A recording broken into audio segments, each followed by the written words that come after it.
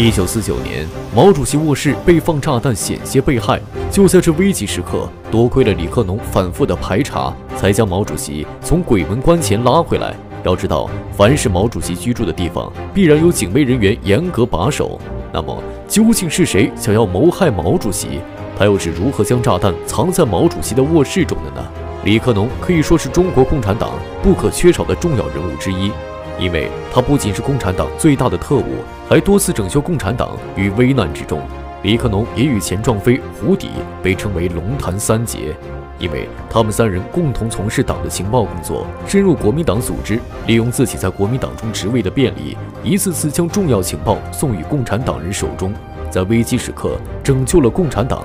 后来，周总理对三人的卓越贡献这样评价：他们三个人可以说是深入龙潭虎穴了。如果没有他们三位，中国共产党的历史将被改写。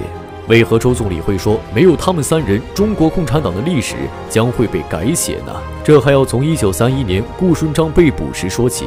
一九三一年，时任中央特科最高领导人的顾顺章在武汉被国民党逮捕，他受不了敌人的严刑逼供，最终投敌叛变。可以想象，身居中国共产党要职的顾顺章投敌叛变后。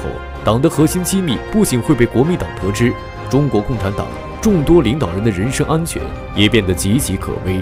同年四月，武汉国民党的特务机关从顾顺章口中得知全国各地中共中央组织的秘密基地这一重要情报，并迅速将这一机密向徐恩曾、蒋介石发去。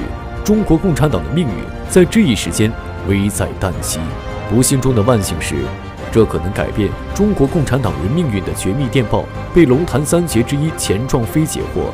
最后，他将这一重要情报告知了李克农。李克农深知这一情报的重要性，马不停蹄地将这一机密立刻上报中央，这才没有让中共中央周总理、邓小平、聂荣臻等一系列重要领导人陷入危难之中。也正是因为龙潭三杰一次又一次的关键情报，拯救国家领导人于危急时刻。所以，由李克农负责北京和毛主席身边的安保工作，党中央也很放心。其实，党中央决定将毛主席的人身安全交给李克农，有着更为深层次的原因。早在1945年8月，随着日本宣布无条件投降后，野心勃勃的蒋介石却妄图夺取抗日的胜利果实，假惺惺地邀请毛主席前往重庆和平谈判。毛主席不愧是伟人，明知这是蒋介石的鸿门宴，还是毅然前往。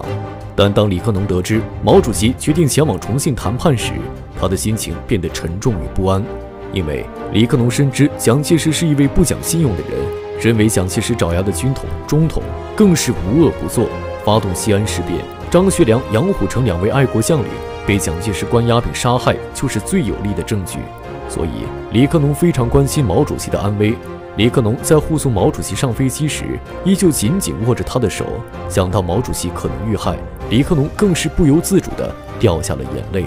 毛主席见状，开玩笑地说道：“克农啊。”男儿有泪不轻弹嘛，你干嘛用咸豆豆送我呀？李克农听到毛主席的话后，用手擦去眼泪，并派出身边最强的警务人员陈龙担任毛主席的贴身护卫，还对重庆的秘密党组人员下达命令：无论任何时候，一定要确保毛主席的人身安全。由此不难看出，毛主席与李克农之间的深厚革命友情。后来的历史也证明了蒋介石的野心并未得逞。时间来到一九四八年，那时的北京还未解放，依旧被国军将领傅作义占领。但伴随着三大战役以胜利收尾，国民党在百万解放军面前节节败退，解放北平也只是时间问题。由于北平不仅有着无数价值连城的古董建筑，更有着众多中华儿女，解放军火力强攻肯定是不切实际的。为了保护北平人民的生命安全，劝傅作义归降才是完美解决北平的方法。一九四八年十一月，我党重要领导人对傅作义展开工作，劝他和平交出手中的北平政权。傅作义虽然身在北平，但他依旧时刻关注着外面的世界，自然也看到国民党已经失去大势。这时，他幡然醒悟，决定弃暗投明。世上最美好的事情之一，莫过于你有情，他有义。一九四九年一月二十二日，傅作义为了促进北平和平解放，按照和平协议开始从北平撤军。同月三十一日，中国人民解放军入城北平，标志着北京完成了和平解放，并且党中央经过商议后，决定将北京定为新中国的首都。同时也要在这座古老之城举行开国大典。这也意味着毛主席等国家重要领导人也会来到北京，他们的安全无疑是至关重要的。所以，为了保障国家重要领导人的人身安全，中共中央将这一光荣而又艰巨的任务交给了龙潭三杰之一的李克农。虽然北京和平解放了，但是在北京城中还潜伏着无数用肉眼看不到的隐患。因为北京被国民党控制多年，他们所培养的特务也早已深入城中。这始终就像一颗定时炸弹，如若不将他们连根拔起，就无法保证北京的和平。李克农根据自己多年的工作经验，对于如何处理藏匿在城中的国民党特务，自然是手到擒来。因为李克农知道，此时失去大树的他们，内心必然是惶恐不安的。这时对他们进行劝降，一定会有意想不到的效果。一九四八年十二月十七日，北京市公安局成立后，接到了李克农下达的命令，要以最快、最有效率的方式剿灭隐藏在城中的特务，允许他们向我党自首，并给他们一个戴罪立功的机会。根据历史记载，一九四九年里的两个月，主动向共产党投诚的国民党特务有将近两千余人，从搜捕、秘密自首、公开登记等方式，共查出近万名特务。李克农也根据这些特务向我党提供的情报，逐步将城中的残余势力连根拔除。国家一众领导人原本计划在一九四九年五月入京，在看到李克农清扫工作完成的十分出色，最终决定将进京日子提前，因为这样不仅能振奋人民的士气，还能将战略位置转移，一举两得。同年三月二十三日。毛主席率领中共中央从中国革命最后一个农村指挥所西柏坡出发前往北京，在行车途中，毛主席还对众人打趣道：“最近这三年，我和三月似乎还挺有缘分的。一九四七年三月，我们撤离延安根据地，转战陕北；一九四八年三月，解放军从陕北东渡黄河，向华北进军；一九四九年三月，这次我们告别西柏坡，进京赶考，这是值得高兴的一天呐。”随着毛主席的动身，李克农的神经不自觉地紧绷起来，因为越到关键时刻，危险也会悄然降临。尽管北京城中大部分特务已经消失殆尽，但为了确保万无一失，李克农向即将到达北京的中央领导人建议。先住在香山双清别墅，等北京城内安全措施彻底落实下来再进京。毛主席在听到李克农的建议后，经过再三斟酌，决定听取他的安排。一九四九年三月二十五日，毛主席在李克农的安排下入住香山双清别墅。这不仅出于对毛主席安全的考虑，都因为我党长期生活在农村环境中，对于城市生活还是不太适应。再加上香山距离北京市区不远，毛主席等一众国家领导人在这里办公也不会受到影响。李克农也在毛主席抵达北京前就已经对香山进行了层层排查，李克农本人更是亲力亲为，力求达到万无一失。可即使是这样，李克农本人也没想到，在安全这方面还是出了岔子。毛主席在抵达北京后，并未直接前往香山，而是先去接见了众多民主人士，然后再前往颐和园稍作休息。下午，毛主席对解放军部队进行了简单的检阅和慰问后，毛主席与一众领导人在颐和园就新中国成立这一大事进行详谈，直至深夜也没有停止。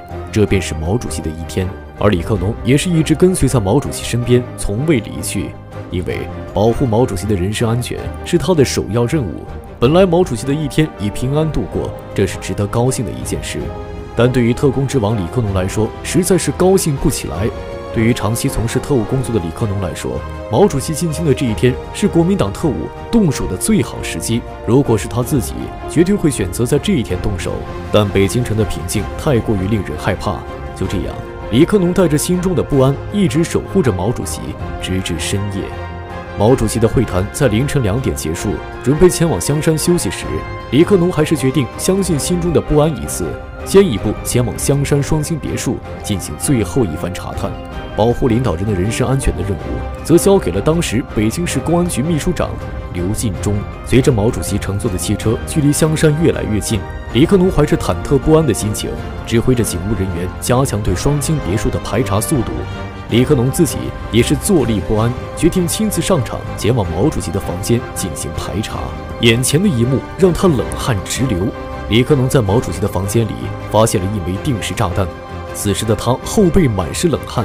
随后立即组织专业拆弹人员进行拆除工作，同时心中也在不断的庆幸，如果不是心中惴惴不安的感觉，使自己回到香山进行最后一轮安全排查，毫无疑问，自己可就成了千古罪人了。虽然炸弹被安全拆除了，但李克农丝毫不敢掉以轻心，因为有第一个炸弹，就有可能有第二个。随后，李克农让警务人员对香山别墅进行地毯式排查。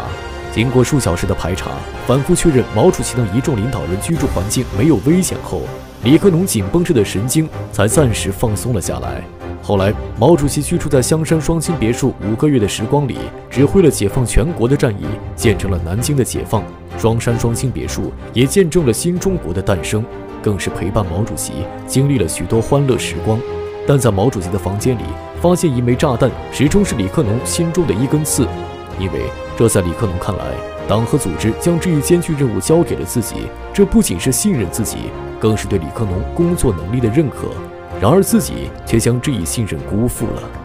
一枚炸弹竟然藏在毛主席的房间里，到底是哪里出问题了呢？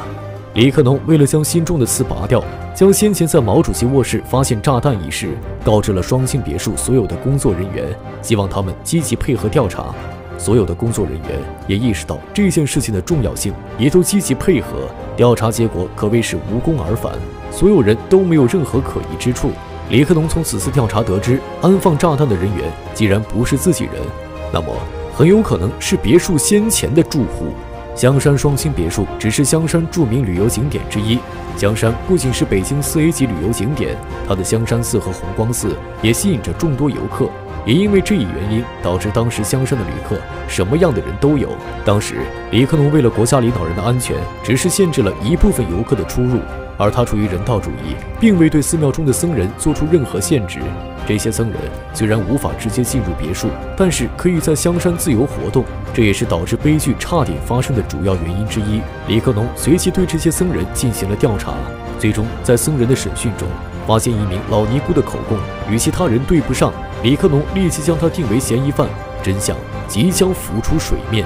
李克农对这位老尼姑进行一番审问后，他直接承认了自己的罪行，表示我受到了国民党的指使，将炸弹带入香山之中。但自己并未进到双清别墅，更别说将炸弹放置在毛主席的房中了。李克农听到老尼姑的供词后，觉得他说的话合情合理，也并未过多为难他，只是罚他半年监禁，进行思想上的教育。李克农眼看就要找到真正的凶手，但这条线索却又断了。那真正的凶手到底是谁呢？他又是如何知道毛主席具体居住的房间呢？李克农在老尼姑这件事情上，并未大肆宣扬。只是分别集合双星别墅里所有的警卫和工作人员，并对他们说道：“经过上次炸弹仪式已经过去一段时间了，所幸相安无事。但这是我们的失职，是我们的耻辱。如果意外真的发生，那我们在场的每一位都是千古罪人。所以，我们接下来的主要任务依旧是保护领导人的生命安全。在场的每一位工作人员必须给我打起十二分精神来。”另外，我已经初步掌握了真凶的信息，训话也就到这里吧。大家迅速回到工作岗位上吧。李克农说最后一句话，其实是为了观察工作人员的神情，但结果令他有些失望，并未发现可疑人员。为了确保领导人的人身安全，李克农还是将所有的警卫和工作人员全部替换掉了，终究是没能找出真正的凶手，这也成为李克农心中最大的遗憾之一。但毛主席在后来的生活里都相安无事的平安度过，直到一九四九年八月二十三日，毛主席在搬离香山时，对此地表示依依不舍。这不仅是香山的宜人环境，还有这李克农无微不至的照顾，这才让李克农心中的愧疚得到一丝慰藉。是谁在毛主席卧室中安放的炸弹？直到今天依旧没能找到真正的凶手。当然。这一事件也只是共产党人所经历的危难之一，我们也可以从中看出当时共产党人奋斗的艰难。他们不仅要面对外敌的冷芒刀枪，还要防身边不法分子的暗箭。但好在吉人自有天相，共产党领导人一次一次化险为夷，他们也通过自己的努力，带领新中国真正的站了起来。现如今，中国不再是以前谁都能侵略的国家了。同样的，现在的我们不应该忘记祖国的和平环境是无数先辈们用生命换来的。我们要努力奋斗，成就更强大的祖国。如果有一天冲锋号响起，我将誓死捍卫祖国。